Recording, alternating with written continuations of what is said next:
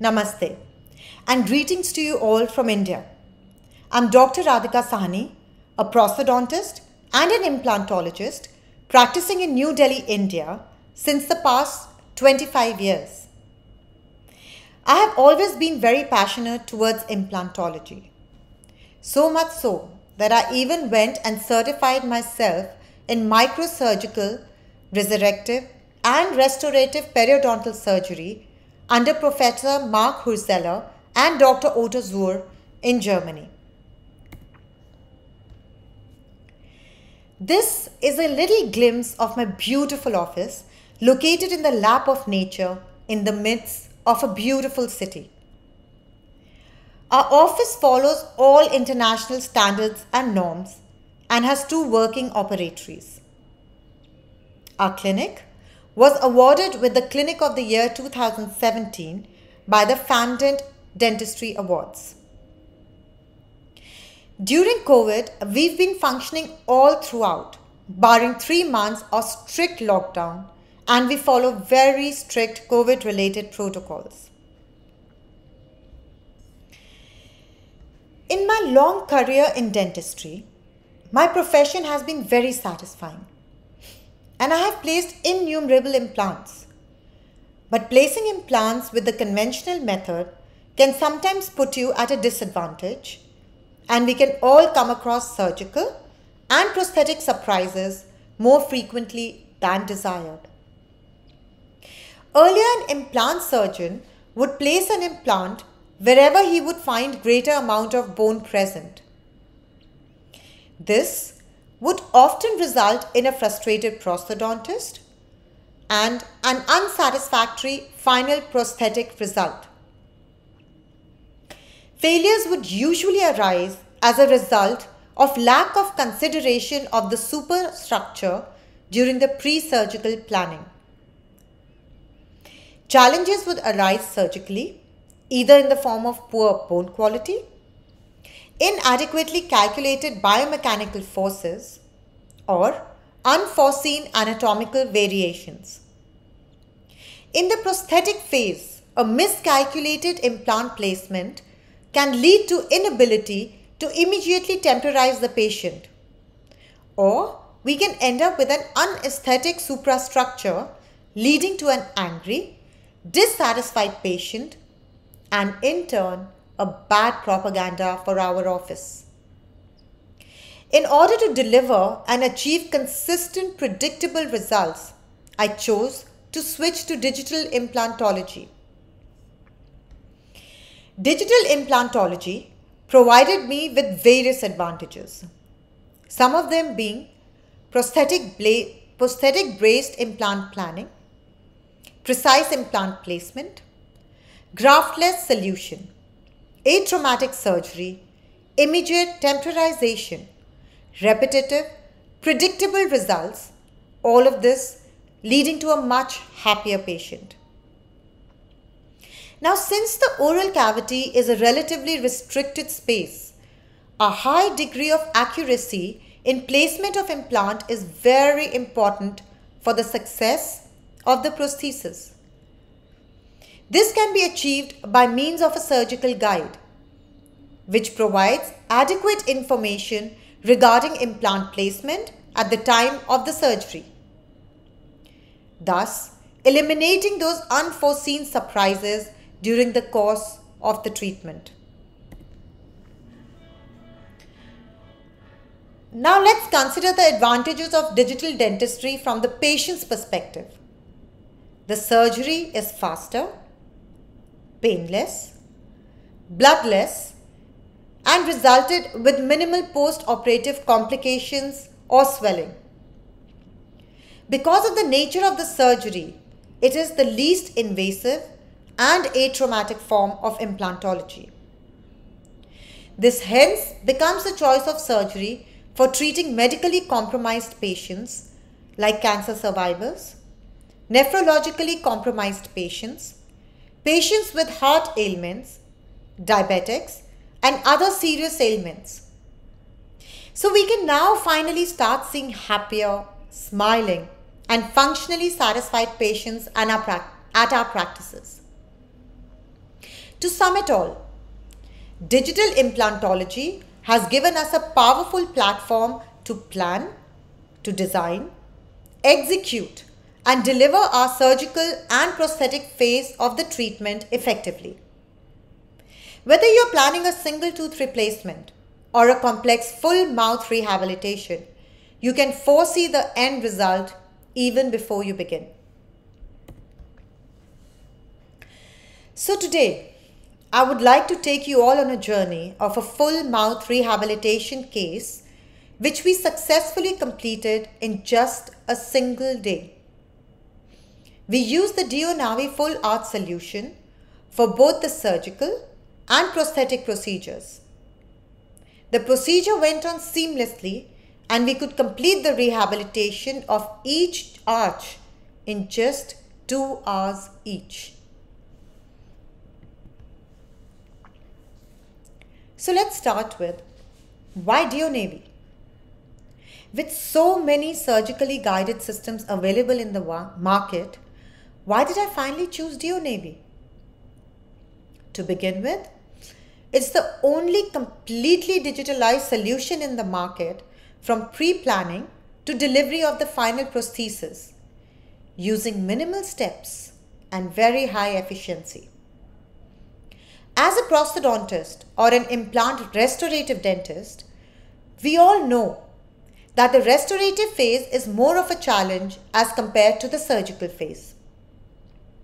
A patient needs to be called back several times and the temporary prosthesis needs to be removed and rescrewed various times for impression taking and measurement recording, which can be frustrating and a very painful experience for the patient. DIOnavi has come out with simpler scanning and final prosthesis material which eliminate most of these steps. Also, they have introduced the newer UV implants which claim to make the implant surface more hydrophilic and more resistant to biofilm formation. This in turn makes the implant surgery more predictable and is known to reduce the time period of osseointegration. To top it all, their services to a dental practitioner are unparalleled. There are many more advantages to boast of that we shall highlight during the course of our presentation.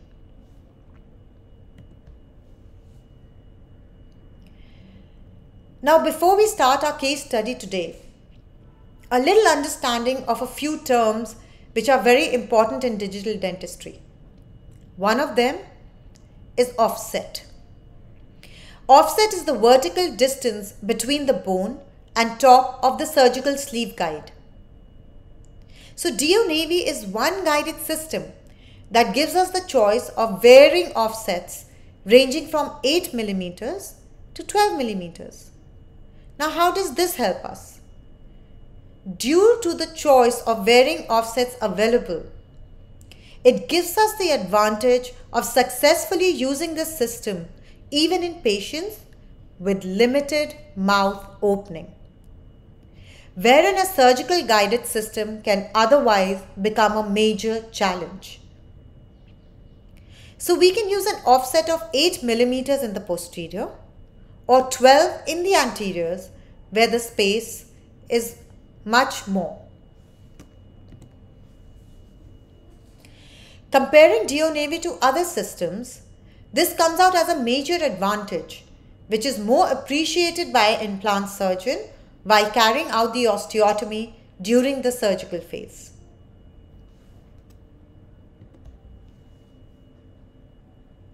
So today, I would finally like to introduce my patient, Mr. Pandey, to you all. Mr. Pandey is a 55 year old male with a terminal dentition. He has a medical history of long term controlled diabetes and is mildly hypertensive. He is a chain smoker.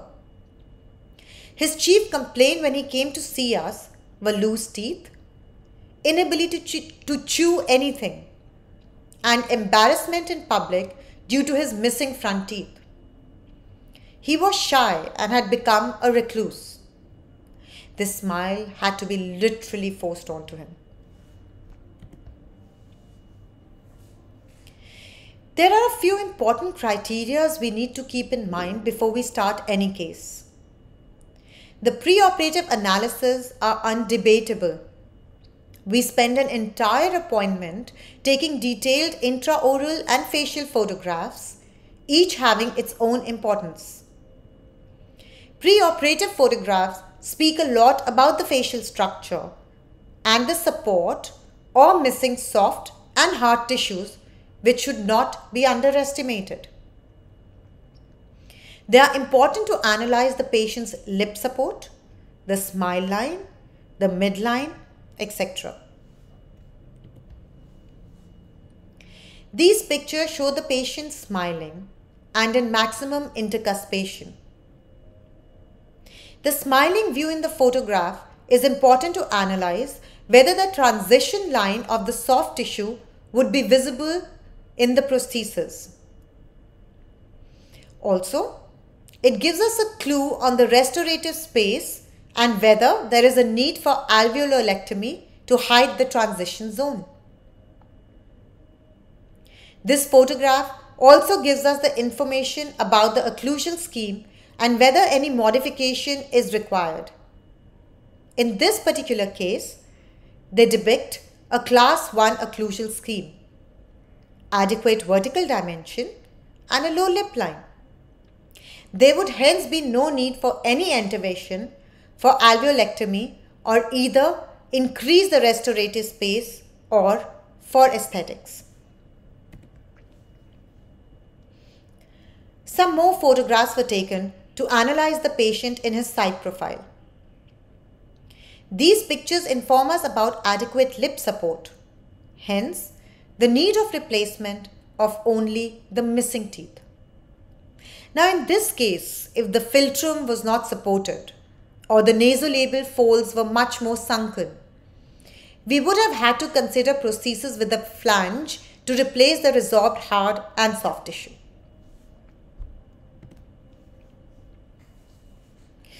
Another prerequisite for any full mouth rehabilitation is the recording of the patient's vertical dimension. In this case, it was easier as his vertical dimension was stable due to his retained dentition. But in cases where the vertical dimensions are unstable, we first need to record a stable vertical dimension using either removable prosthesis or wax dentures. After the photographs, we take the 3D intraoral scans of the patient. Scans of the upper and lower arch were taken along with the bite registration. Data of the patient's residual bone was recorded with the help of the CBCT. Then the CT data along with the intraoral scans were sent to the DIOnavi Center for Digital Implant Planning. Using the implant planning software, the intraoral scans are superimposed onto the CT scans to get a complete vision of the bone, the soft tissue and the teeth. After assessing all the data sent, first the final prosthesis is designed keeping in mind his available intraoral restorative space his lip support, smile line, and the occlusal forces.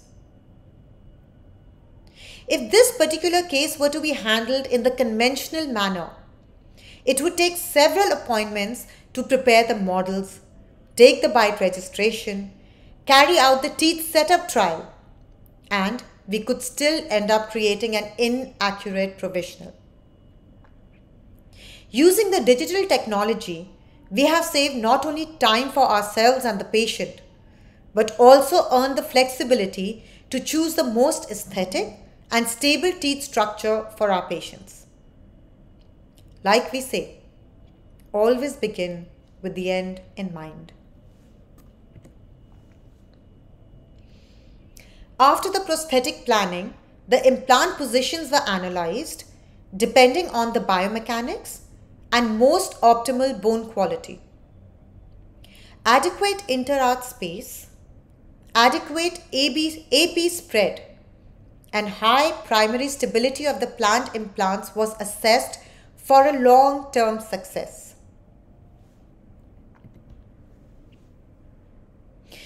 The number and position of the implants in this case was planned depending on the amount of bone quality and quantity available. According to the zones of Bedrossian classification, Zone 1 is the maxillary anterior teeth, Zone 2 the premolar region and Zone 3 the molar region. If adequate bone is present in all the three zones, the treatment of choice is usually 6 to 8 parallelly placed implants in the maxilla. If the bone is deficient in zone 3, there could be two treatment choices. Choice 1 Sinus lift and grafting with delayed loading. Choice 2 All on 4 with immediate loading. In this protocol treatment, time and expense of the patient are reduced. Now, if the bone is deficient in both zone 2 and zone 3, the treatment could also be executed using zygomatic implants to rehabilitate the patient other than sinus lift and bone grafting.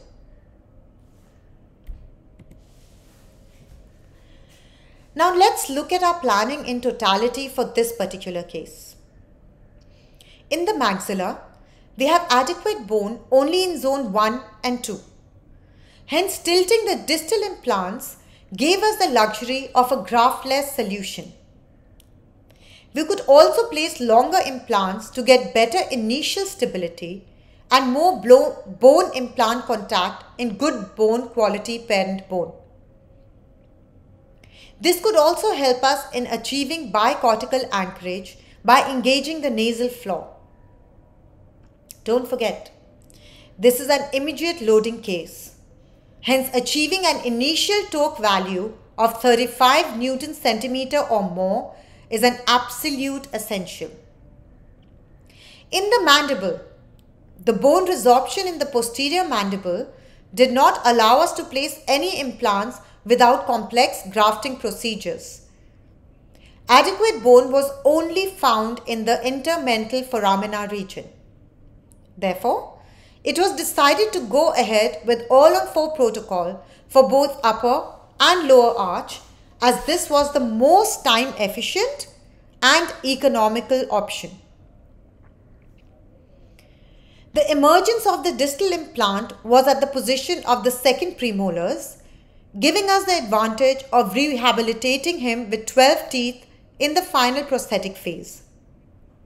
During temporization, we limited them to 10 as we did not want any untoward cantilever forces during the healing phase.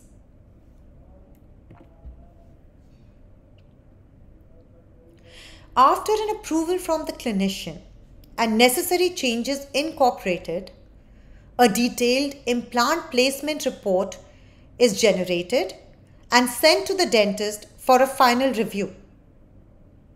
Each implant site is clearly mentioned along with the length and diameter of the implant to be used. This sheet depicts the site where the implant needs to be placed, the type of implant, the dimensions of the implant to be used in that particular site, it also gives us the placement view of the implant in 3D dimensions and the quality of bone in contact with the implant. A similar sheet is produced for each implant individually to analyze if any final changes would be required. After this detailed planning stage, a surgeon can confidently go ahead with the surgical procedure knowing that he has eliminated all the surgical surprises that could be waiting for him during the implant placement. From the point of view of a restorative dentist, they know that the implants will be placed in optimal position and bone. And now the preformed provisionals can be delivered immediately after the surgical phase with minimal frustrations and effort on their part. After the surgeon approves the planning report, a detailed sheet of surgical protocol is delivered to the dentist. The report clearly mentions the implant site, the implant type, the implant dimensions, and the offset to be used along with the drilling sequence.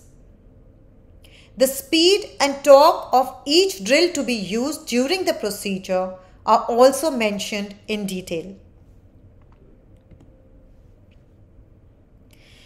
In our clinic, before starting an implant surgery, we always have a checklist of our armamentarium, material, procedures and machines.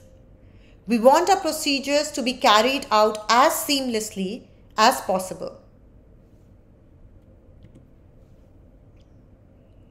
The implants and the prosthetic components are counted, checked, and visually displayed to avoid any confusion during the procedures.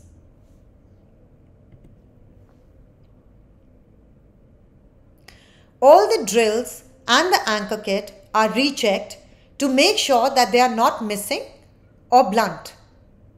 Re-cleaned a day prior to the surgery and autoclaved on the same day just before the surgery. There can be no compromise on the surgical protocols. The surgical stents are the most important part of the surgery. A surgical stent can be tooth supported, mucosa supported, or bone supported. Before the surgery, all the stents are checked, counted, as there could actually be more than one for the same arch. Then dipped in chlorhexidine prior to surgery for cold disinfection. These stents cannot be autoclaved. In this particular case too, there were two stents in each surgical arch. The first stent was primarily tooth supported, while the second was supported by the anterior implants using guide fixes. Also, each implant position could have different offsets that need to be kept in mind during the surgery. Different offset gives me the luxury of more vertical space while drilling for the tilted implants in the posterior region.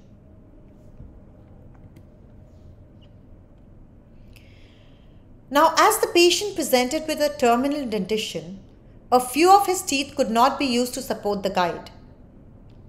With mobility of grade 3, those teeth were spotted and extracted prior to checking the fit of a surgical guide.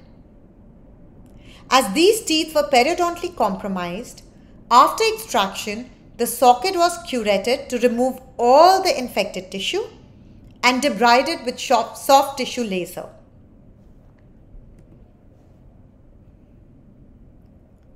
Here I would like to emphasize that it is imperative to check the fit of the surgical guide before beginning the surgical procedure and be doubly sure that the supporting teeth are sitting well in their housings. Otherwise, the position of the osteotomy and hence the implant could be compromised. And this in turn could compromise the final prosthesis. Another important aspect is choosing the right drill tube for the initial osteotomy. Sites where immediate implants are placed will need a longer drill tube to prevent the pilot drill from slipping.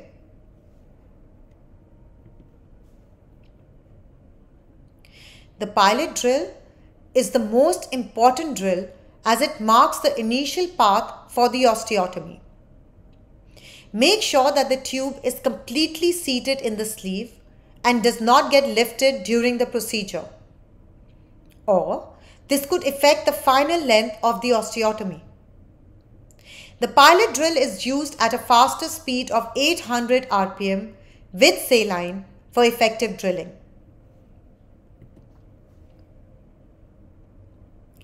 The beauty of this guided system is that it uses its subsequent drills at a speed of 100 rpm without water.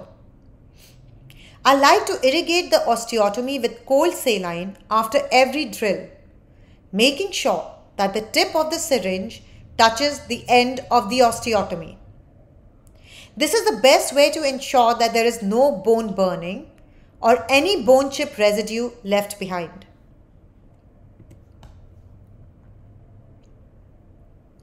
Each subsequent drill used now enlarges the osteotomy in length and diameter. The drills must be used in a pumping action, making sure that you take it down till the end of the stopper that has been incorporated in the drill. The profile drill is one of my favorites in the kit. It not only shapes and profiles the osteotomy, but also helps as a bone trap to collect the autogenous bone that can be used further if needed. This is at times the first drill used in osteotomy when you're preparing a socket in which immediate extraction has been carried out or it's the last drill for every single osteotomy, especially in D1 and D2 bones. With the final osteotomy preparation, now the UV implant along with its housing is placed into the UV chamber and activated for 20 seconds. The button is placed to open the trapdoor.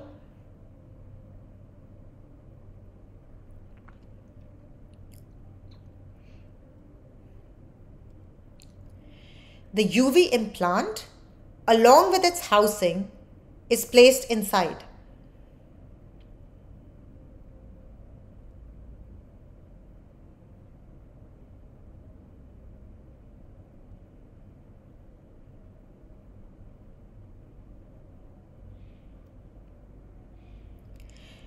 The trapdoor is shut and the implant activated for 20 seconds.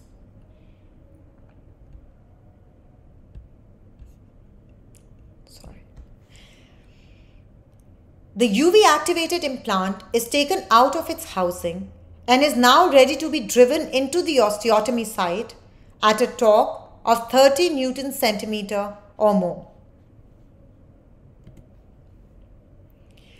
Towards the end of the implant placement, I would personally recommend you to switch to hand torquing the implant in.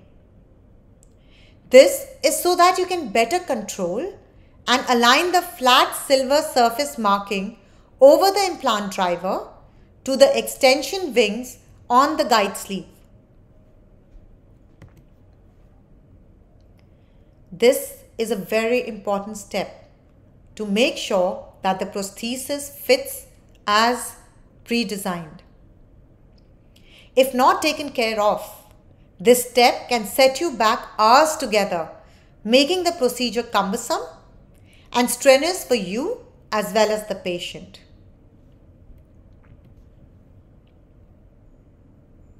After the placement of the two front straight implants, the previous surgical guide is discarded.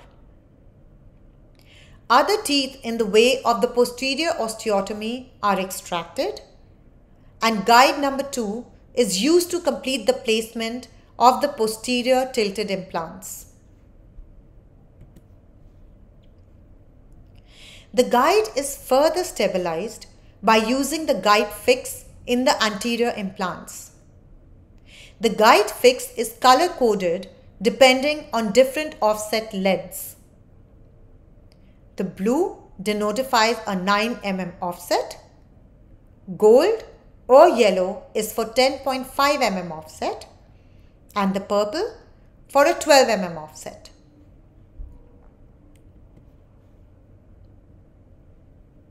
Now our guide was stable enough to receive the drills for the posterior osteotomies.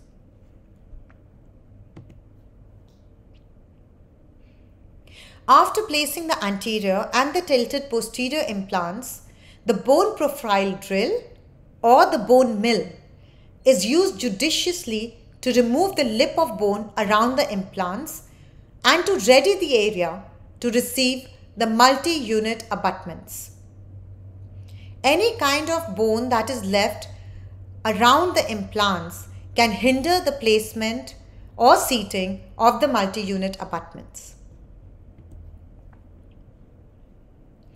All on 4 is a very demanding and a stressful surgery towards the end.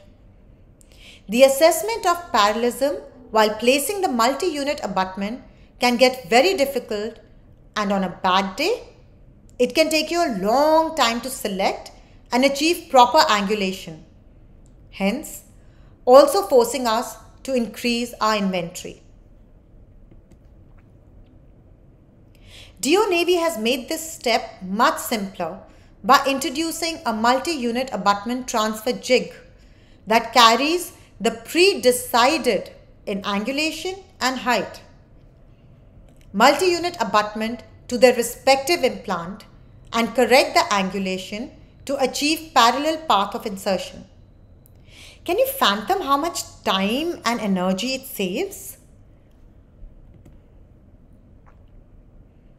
Another unique design feature that DIOnavi has incorporated in their multi-unit abutment is the ability to torque the screwing securing screw at 25 to 30 Newton centimeter. As compared to the other system wherein the securing screw is torqued at 19 Newton centimeter. This prevents long-term chances of screw loosening.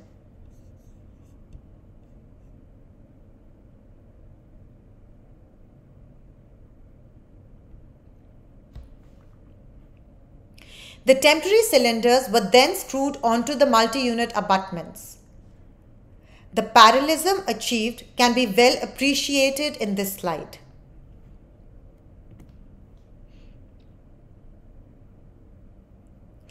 A feather on the company's cap is also their preformed, highly aesthetic provisionals with precisely cut temporary cylinder pickup holes that reduces the clinical timing and effort tremendously.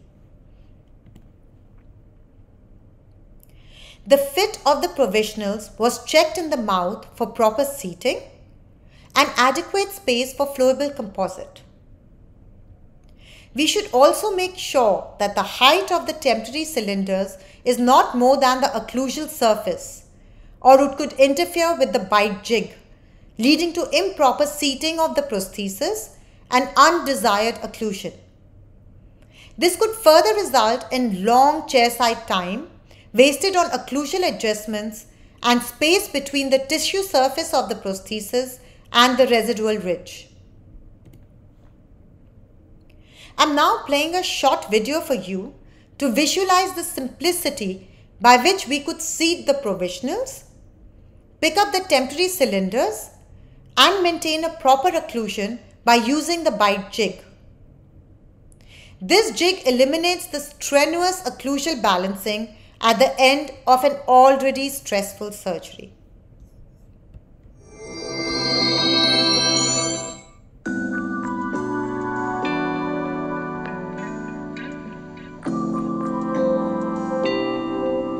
Jig is placed over the upper arch.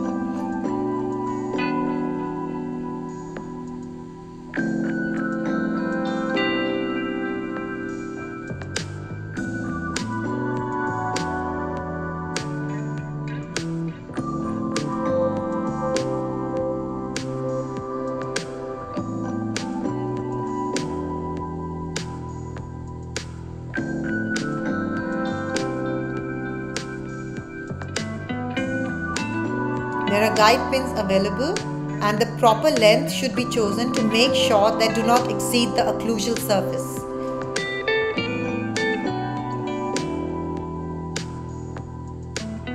Slivers of rubber dam are placed around the multi-unit abutments and the temporary cylinders.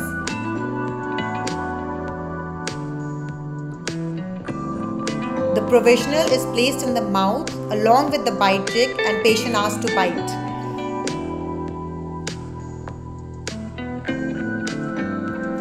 Light curing resin is filled into these through the resin access holes that are present on the buccal and easy to access.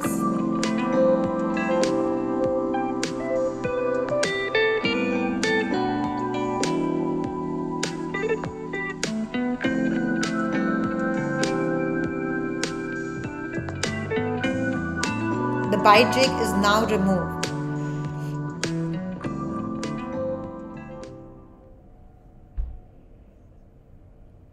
That looks and is actually very simple to handle. Now the addition, empty spaces and rest of the cylinder area are picked up directly in the mouth using flowable composite. Once the temporary cylinders are all picked in the prosthesis, I always prefer to reline the tissue surface with a wash impression for greater accuracy and better tissue contact. The tissue surface is then relined and a convex surface achieved, which is highly polished to establish easily cleansing areas.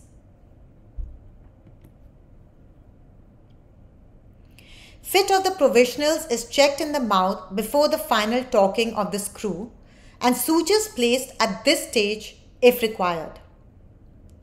In this particular case, we needed to place sutures in the upper arch as we extracted 8 teeth from either side and the soft tissue due to periodontitis had large pocket and was loose and open.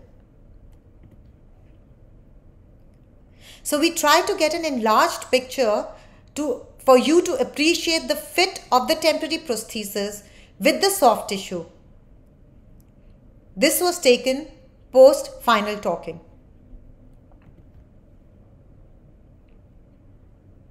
After completing the upper all-on-4 implant placement, a similar protocol was carried out to rehabilitate the lower arch. Once the upper provisionals were torqued onto the implants, we used the bite jig to correctly align the lower provisional onto the temporary cylinders. Temporary cylinders were again picked up using the flowable composite and after a wash impression, again the tissue surface was contoured and polished. The use of the bite jig as mentioned helped us achieve a desirable occlusion with minimal adjustments. Now taking these photographs was a moment of pride and triumph for my team as having completed a full mouth rehabilitation in just a single day was an um, immense achievement. While establishing the occlusal at this stage, we made it a point to concentrate maximum forces in the anterior region and made sure that the shim stock dragged easily through the premolars. The cantilever was completely eliminated. The patient was given a night guard to wear at night to eliminate any other undue forces. He was also instructed to be on a soft diet, eliminating any nuts and seeds for the next three months. Strict oral hygiene instructions were pressed upon. The satisfaction I felt by restoring the smile and function was unparalleled. Truly meaning, restore a smile, restore a life. This was an OPG taken immediately on the same day after the surgery. You can change the life of a patient in just a day today, thanks to the DIOnavi Full Arch Surgical Guided Protocol System.